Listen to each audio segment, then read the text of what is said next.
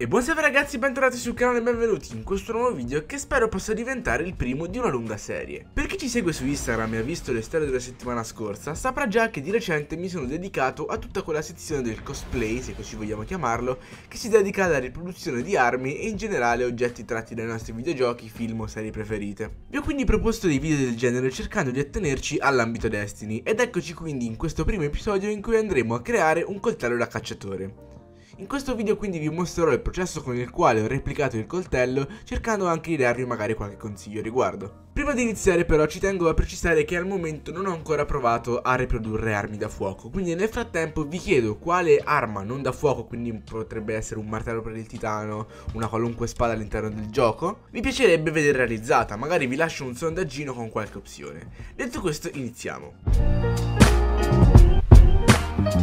La prima cosa che faccio quando voglio iniziare un nuovo progetto è quella di creare un modello schematico dell'arma in questione, cercando quindi una foto da cui possa partire, con penna e Photoshop cerco di tratteggiare le linee più importanti dell'arma. In questo caso sono stato fortunato e ho trovato un modello già bello e pronto, ma rimane una questione fondamentale, quella delle dimensioni. Osservando il coltello in game ho quindi cercato di ricavare le dimensioni approssimative per definire una lunghezza di circa 35 cm. A questo punto mi è bastato inserire il modello in un foglio A4 e scalarlo fino alle dimensioni che mi servivano. Così facendo il coltello occuperà solamente due fogli. Tuttavia fate attenzione a non fare il mio stesso errore e cercate di dividere due pezzi in un punto a voi comodo. Il fatto che avessi diviso la punta laterale non è andato esattamente a mio vantaggio, anche se sono riuscito a rimediare facilmente con un pezzetto di scotch. Fatto ciò tagliamo il nostro modello e uniamo i pezzi per creare una traccia unica. Iniziamo quindi ora con la lavorazione vera e propria. Per quanto riguarda il materiale utilizzato, personalmente mi trovo molto bene a lavorare con il polistirene estruso e nonostante quello che possa far pensare il nome, è un semplicissimo materiale isolante venduto a pannelli a costo veramente molto basso. Come ho detto è un materiale facile da lavorare e leggero da maneggiare, tuttavia non è particolarmente elastico e se volete quindi utilizzare l'arma per esempio in un combattimento seppur simulato, rischiate di romperla, come ho fatto io con la mia ascia di Kratos. Consiglio quindi di tenere gli oggetti lavorati in questo materiale semplicemente in esposizione.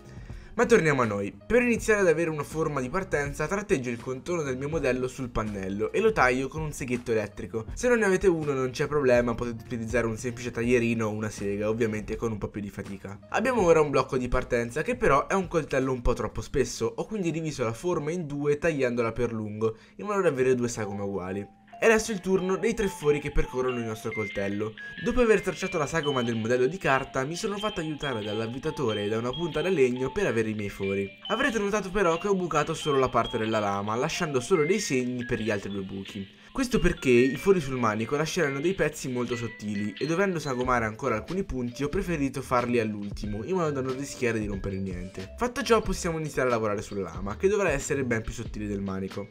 Per assottigliarla mi sono quindi servito di un taglierino e ho iniziato a raschiare strati da entrambi i lati della lama.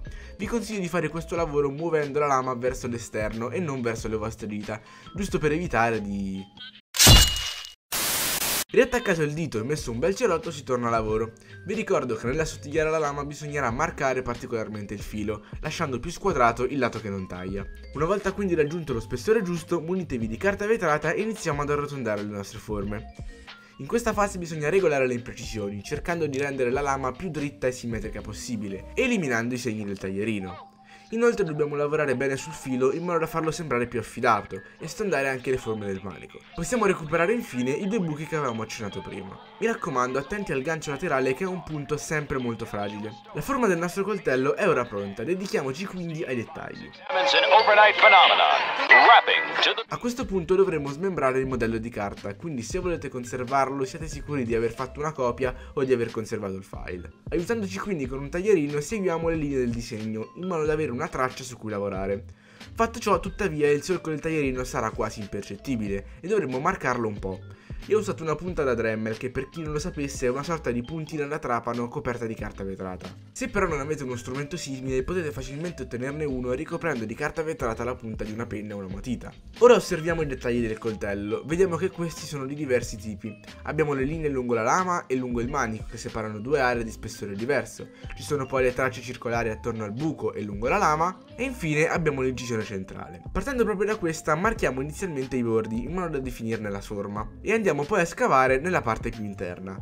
Volendo potete aiutarvi con un taglierino più piccolo per rimuovere i residui all'interno dell'incisione. State però attenti a non andare troppo in profondità, sia per non bucare la lama e sia perché un'incisione troppo profonda ci creerebbe problemi nella pittura. Per quanto riguarda i tre cerchietti lungo la lama, questi sono molto piccoli e la forma non andrà quindi accentuata più di tanto. Per evitare di creare crateri e mantenere l'effetto di un solco sul metallo, il mio consiglio perciò è quello di smussare di poco la zona intorno al cerchio in modo da farlo sembrare più in rilievo. La stessa cosa andrà fatta per il foro centrale, per crearne il bordo. Io ho poi lavorato anche sull'interno del foro per ammorbidirne un po' l'angolo. Tocca adesso alle linee di margine lungo la lama e lungo il manico. Entrambe sono linee che divideranno due zone di spessore diverso e dovranno quindi essere particolarmente marcate, in particolare quella sul manico che rispetto alla lama ha una forma più squadrata. Utilizzando quindi ancora una volta la punta della Dremel ho tratteggiato la linea cercando di marcare la parte della lama, in modo da assottigliarla ulteriormente rispetto al manico, prestando particolare attenzione nello stondare gli spigoli. Lo stesso concetto va applicato al filo della lama, anche se in maniera meno accentuata, dato che qui la linea serve maggiormente ad evidenziare l'affilatezza. Per concludere infine le incisioni di dettaglio ho smussato gli angoli dei fori sul manico stando sempre attento alla fragilità del pezzo. Riprodotti i dettagli anche sull'altro lato diamoci alla pittura. Prima di iniziare è importante sapere che alcune tempere su questo tipo di materiale sono corrosive, quindi prima di rischiare di sciogliere definitivamente il nostro coltello fate una prova su un pezzo di scarto. Se può esservi d'aiuto, io ho usato gli acrilici Giotto ed è stato subito scuola materna. Ora, per ottenere l'effetto metallo e fare allo stesso tempo risaltare le incisioni, ho dato due mani di vernice, la prima di un colore scuro, preferibilmente nero ma aveva un marrone molto scuro che mi sono fatto andare bene. Questa mano serve da sfondo alla pittura argentata, in modo da lasciare intravedere il nero in alcuni punti. È quindi importante che dipingiate per bene l'interno delle incisioni, in questo modo passando una seconda mano abbastanza approssimativa di argento, ovviamente una volta che la base sarà asciugata se non volete un coltello grigio topo, i solchi delle incisioni rimarranno scuri e darete alla lama una texture simil-metallica. Se per caso l'argento avesse ricoperto qualche solco, vi basterà passare delicatamente con un taglierino o un punteruolo per far vedere il nero. Infine, per dare lucentezza alla lama, ho passato uno strato di colla vinilica che ha anche rinforzato il tutto. La pittura è terminata e per completare il nostro fantastico coltello da cacciatore ci basterà solo un laccetto di cuoio o stoffa, preferibilmente nero. Avvolgiamolo attorno al manico facendolo passare attraverso i buchi, sempre facendo attenzione a non rompere niente, e fissandolo con un goccio di colla e il gioco è fatto.